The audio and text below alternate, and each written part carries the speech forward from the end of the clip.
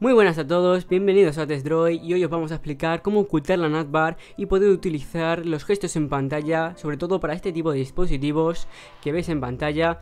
Si no te lo quieres perder, empezamos.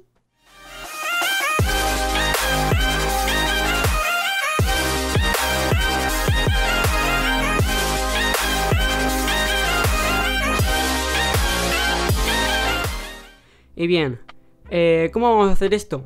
Esto es una aplicación que me ha pasado un compañero de Telegram. Y si nos dirigimos aquí a nuestras aplicaciones, vemos que la aplicación se llama Fluid Navigation Gestor. Vale, una vez tenemos ya la aplicación abierta, tan solo deberemos darle a aquí para garantizar los permisos. Permitir mostrar sobre otras aplicaciones, después de ello volvemos a pulsar en Grant y en accesibilidad activamos esos ajustes y aceptamos por aquí la huella. Y volvemos para atrás. Para atrás.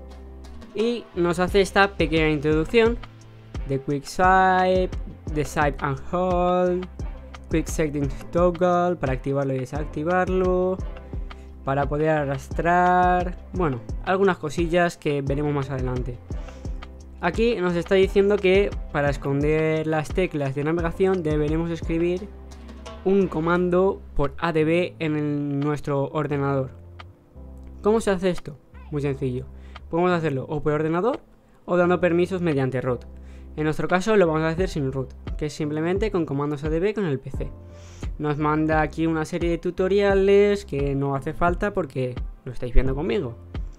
Y como veis aquí, deberemos primero irnos a los ajustes y una vez aquí en ajustes en sistema a información del teléfono. Y en número de compilación pulsamos repetidas veces. Se nos pedirá el patrón.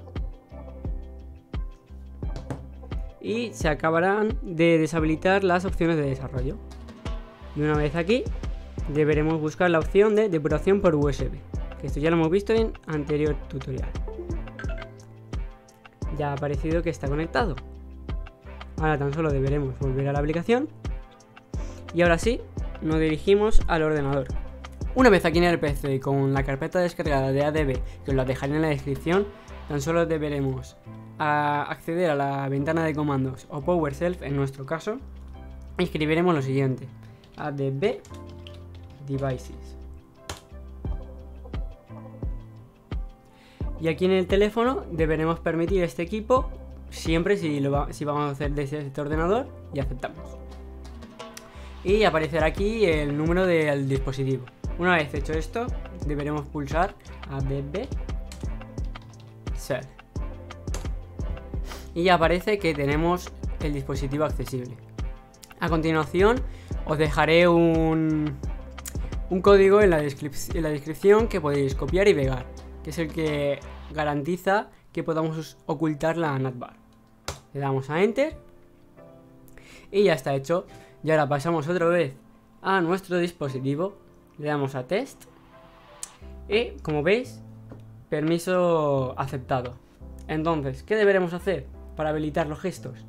Deberemos darle aquí para habilitarlo. Y una vez hecho esto, tan solo si queremos ocultar la navbar, ¡pap! ya está, oculta. Ahora, ¿qué podemos hacer con esto? Yo en mi caso también he quitado esto de aquí y esto lo he personalizado a mi gusto, que puedes hacer diferentes, eh, diferentes formas para, para, interactuar. Yo esto en mi caso lo he quitado porque no me gustaba. Y aquí he dejado en Quick Swipe Home y en Swipe y Hold, que es arriba y sostenemos, que os lo mostraré, las aplicaciones recientes. Luego en el borde eh, izquierdo yo he dejado la vuelta atrás y en mi caso yo tengo la aplicación comprada que está aquí. Yo tengo la, aplicación comprada y entonces yo puedo acceder a mis a cualquier aplicación anterior. Y en mi caso yo me suelo poner plus. Y aquí lo mismo pero aquí con la preview vale y aquí en More podemos hacer otra serie de cosas, como por ejemplo, aquí veis que se muestra lo negro. ¿Y qué podemos hacer para que no se muestre lo negro? Eso, por ejemplo. O aquí lo mismo. ¿Qué podemos hacer para que eso no se muestre? Pues podemos venir aquí y quitar la transparencia. Y en color de acento lo mismo, poner transparencia al tope. Y ahora ya no sale. Ahora queda un movimiento mucho más elegante. Que queremos hacer más sensibilidad porque no nos gusta así. Pues podemos hacer la zona de aquí abajo un poquito más grande. Yo lo tengo así, más o menos. Luego, en side de los laterales, yo lo tengo así más que nada por el teclado, porque ahora como veremos, a veces puede costar un poquito. Y en la sensibilidad la llevo así. Ahora, vamos a ver cómo funcionan estos gestos. Vamos para atrás, para atrás. Entramos, por ejemplo, a Telegram. Y no hay ningún problema con los swipes para un lado para otro, puedes entrar aquí, sales así, entramos en el grupo del MIA 2, que os los dejaré en la descripción. Y ahora vamos, por ejemplo, a la multitarea. Vamos aquí, ahora vamos al home, un swipe para arriba. Que queremos ir a plus porque lo hemos predefinido antes, pues simplemente así y vamos a plus. Que queremos ir a la aplicación anterior, hacemos así y vamos a ajustes. Por ejemplo, vamos a meternos en YouTube. Una vez aquí en YouTube podemos volver a la aplicación... Bueno, no. Vamos a irnos a... aquí. A Google. Y de Google queremos ir otra vez a la aplicación anterior. No pasa nada. Hacemos así y vamos directamente a la aplicación anterior. Como veis, los gestos funcionan realmente bien y no estorba para nada. No estorba ni para hacer este gesto de aquí para arriba. Ahora si nos metemos aquí... No, no, vamos a meternos aquí y vamos a teclar un poquito. Como veis, no, no dificulta para nada la, la escritura.